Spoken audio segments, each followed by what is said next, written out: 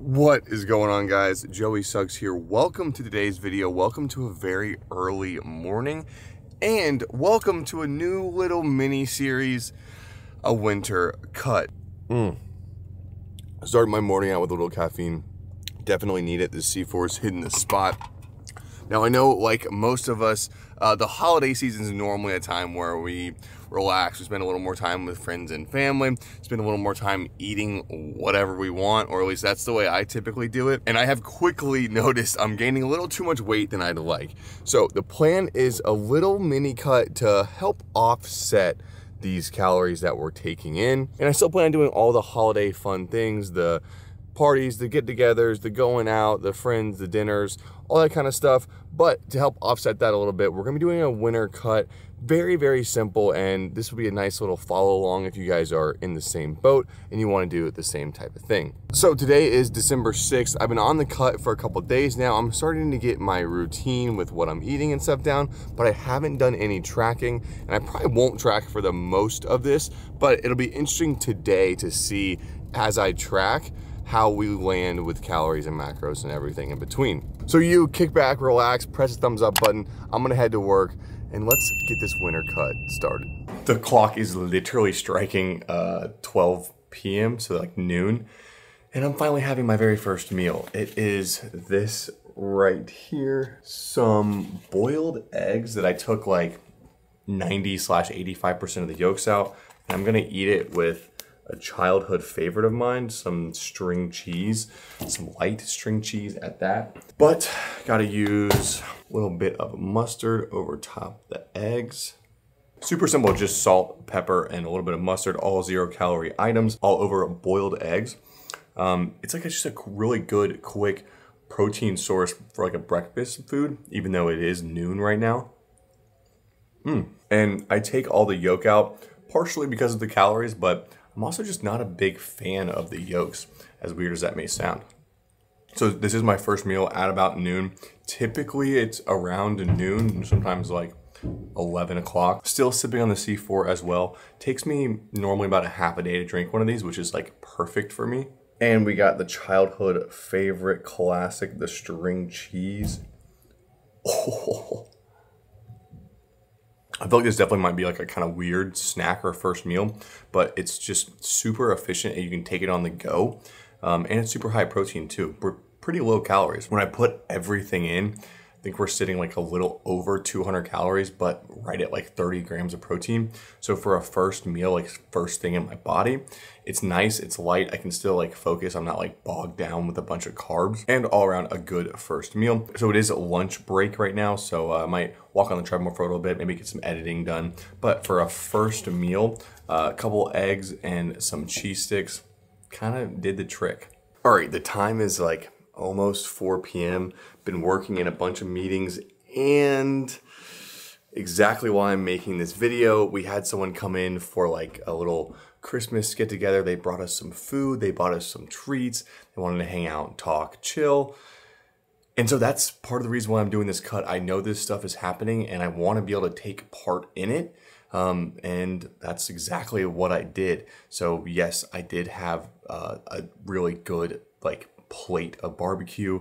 Um, they brought in like, uh, God, they had like ribs, pulled pork, mac and cheese, potato salad, coleslaw, like all this different stuff. I didn't have a lot of everything, but I did have like a little bit of a couple of the things. Um, and I tracked it as best as possible, but you're never going to be very accurate when you're doing stuff like that. And then I had a couple of like the little sweets that they left um, as well, just to like hang out with everyone and, and be in that like office environment. And I don't think anything's wrong with that as long as you're doing the things of the winter cut to offset that. So like I said, I tracked it loosely and it added quite a bit of calories to the day, almost a thousand, um, with not that much protein, a little bit, I guess, in the meat but we're not sitting the prettiest, I would say. But I might as well show you what I was planning on having before I knew they were coming, and that was this like clean eats meal. it looks like a pretty solid meal, so kind of upset I didn't get to have this, but I'll just have it tomorrow for lunch. Nice little serving of chicken, broccoli, and mashed potatoes. With some, this has really good macros too. 40 grams of protein is for 300 calories. And instead we got like 60 grams of protein in like a thousand calories. Definitely not ideal, and I didn't know this was gonna happen today, but I'm actually happy I'm filming. At least I'm being honest and showing you guys what's realistically gonna probably happen when you're trying to do your winter cut. As long as you stay on track over the long term, you're gonna be just fine over time.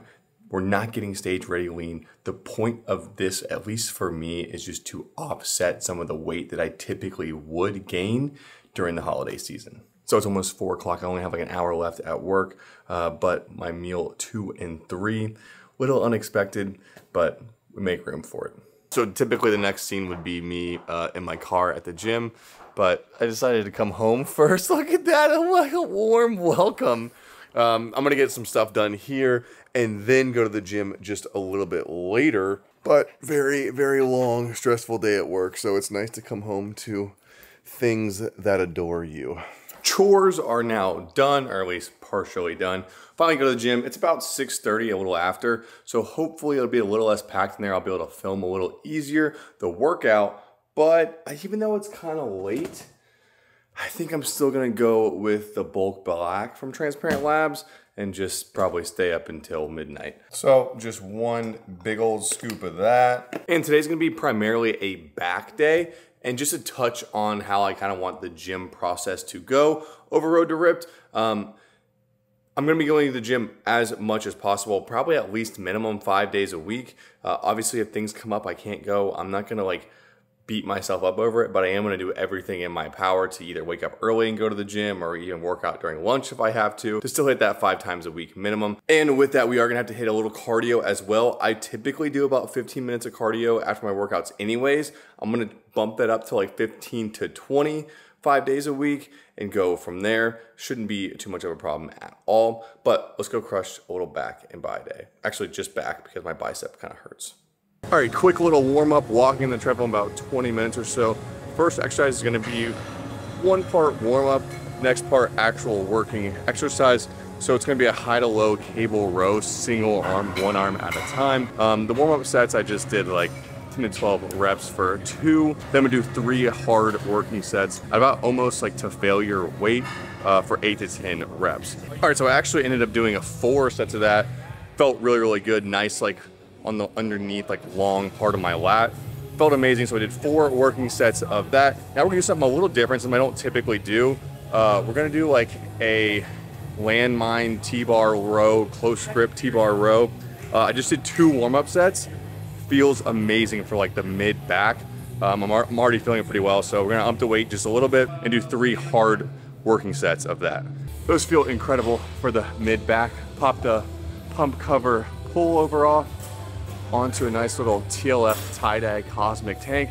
Definitely check it out in the link down below. But two more sets of this to wrap up. All right, back is feeling really, really good.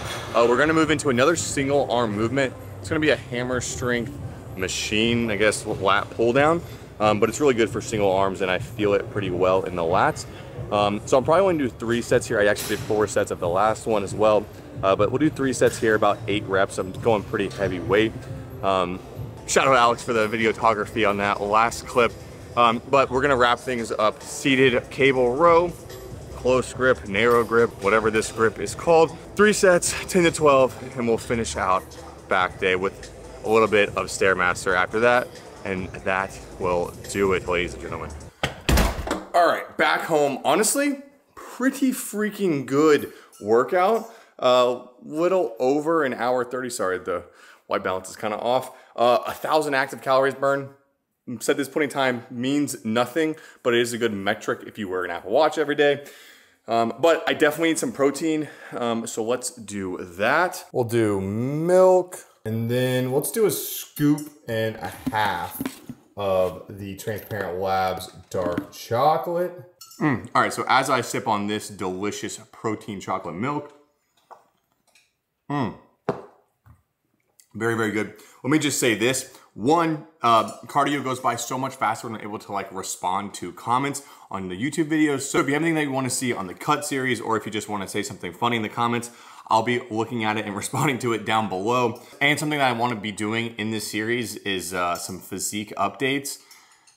Oh man, I can't believe I'm gonna show this, but I'm gonna put up a video I took a couple of days ago. Um, man, I mean, I'm I'm weighing a little over 220 pounds, which is like the heaviest I've been in probably five or six, maybe almost seven years.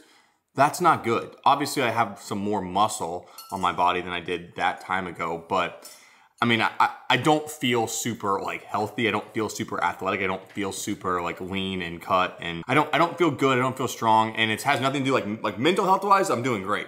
It's just like the physical health. I feel like I need to feel better and look better. Um, and I, so I just need I need to lose some weight. So um, I'm gonna be a little vulnerable and put up some very not great uh, physique update, but I am gonna be showing myself hopefully getting leaner over the next couple weeks. Um, and so we can document that together. So with this protein shake in, I also had a granola bar that I didn't show uh, early in the video before I went to the gym. So I put that in there as well. 400 calories for this and that. Uh, brought the total up to 1600 for the day, which actually is not bad considering we had such a huge lunch with like a lot of fat in it. Um, and we have 151 grams of protein. So we're actually doing pretty well there. Workout was really good, burning that amount of calories. I, I feel like that helped, or at least maybe eating the more calories in the day felt like I was able to have a really good workout because of it. Whatever the reasoning was, good workout. I need to get dinner started, but just wanted to share that little physique update with you. And I'm confident at the end of this mini series, we'll take another little physique update and um, we'll be looking much, much better. I'm gonna smash this and it's on to dinner time. And for dinner, I'm thinking like surf and turf vibes without the surf and go um, some steaks. I have some fillets that I defrosted from Costco and uh, some chicken. So what would that be like? Grass and turf. But I'm gonna make both of them tonight. Um, let's start with the chicken. All right, I got an air fryer preheating and I'm gonna go ahead and season these up with some Kinder's wood fire garlic and some Lawry's lemon pepper. Don't know if this combo is gonna be good or not, but it's worth a try, I guess. All right, and these just barely fit in here. Put it on the air fryer and we'll do, let's do 375 for 12 minutes, and that should be pretty good. And for the steaks, we're gonna do the Kinder's The Blend seasoning, as always. We'll get a good coat on both sides, and then this is ready to go in the pan. And the steaks can go in. I'm gonna cook them about to medium rare. All right, steaks are finished up. I actually added an extra two minutes on the chicken. And for my carb source, I'm gonna be pretty lazy and just go with some Uncle Ben's rice and some mixed veg from Costco. All right, people, dinner is served. Actually, that's not even a good view. Look at this view right here, the overhead shot. I don't know, that looks pretty, pretty nice. We got the rice in there, um, the mixed veg. I just put a little salt and pepper over that. Nice piece of steak, nice piece of chicken, and uh, everything it was cooked perfectly. Definitely recommend 15 minutes for the chicken, um, but everything else was awesome. Um, I will say I had one of those small pieces of steak and it was freaking delicious. Costco fillets are always really good. And of course, this is gonna be no exception. So like tender, buttery, um, no fat content. It's really awesome. The chicken cooked up very nicely, surprisingly. Normally I do like chunks chicken. Didn't feel like cutting it, just want to cook the whole breast. Ended up being pretty well. That is perfect. And then some microwave mixed veg and bagged rice. Tastes exactly how you would expect it to. And what's nice, check out how much extra like meat I have to carry me on throughout the rest of the next couple days. Um, I used about a half of the bag of the rice, so I still have that left over too. Um, so I did a nice little like halfway meal prep to get me set up for the next couple days. That is awesome. Um, just a brief look at the calories and macros in, in, this meal turned out even better than I could have imagined. Uh, the meal is sitting weirdly enough exactly at 620 calories. Total right around 2200 for the day. That's actually really good considering what we had for lunch today. And even crazier than that, you look at the macros, we did hit our protein goal, which is really awesome. Over 200 grams of protein, that's the goal. Um, under 25 or right around 2,500 calories, that's the calorie goal. And like I said, with that, a really good lift and about 15 to 20 minutes of Stairmaster. That's pretty much, I'm not gonna change it up a whole lot throughout the uh, mini cut or the winter cut. I don't wanna overcomplicate things. I just wanna keep it very simple and I think my body will react to it. And that's the goal. I'm gonna kill this tasty little dinner and we still got a couple more calories to kill tonight. Oh, all right, it is very late. It's actually almost 11 p.m. Um, quick little shower, change. I'm gonna wrap up today's video with a little dessert, and that is um, some dried mango. If you haven't had dried mango before, I'm becoming maybe slightly addicted to it. Um, the macros are honestly not that good. Like they're pretty high in like carbs and calories, but it is very tasty. And it's like a nice little sweet treat, a little off the beaten path. Um, so I'm gonna finish out my night with a couple of these. So it'll probably put us somewhere around 2,400 calories for the day, which is really good considering I had that like really big lunch and the sweets and everything along with it. But that's the nice thing about this little mini cut is it all works out in the long run. So if you guys enjoyed this little mini cut, press thumbs up button for me. Leave a comment down below what you want to see uh, in this series going forward. And with that, I will see you guys very shortly in the next one. Peace. If you rockin' with it, put your hands up. Yeah.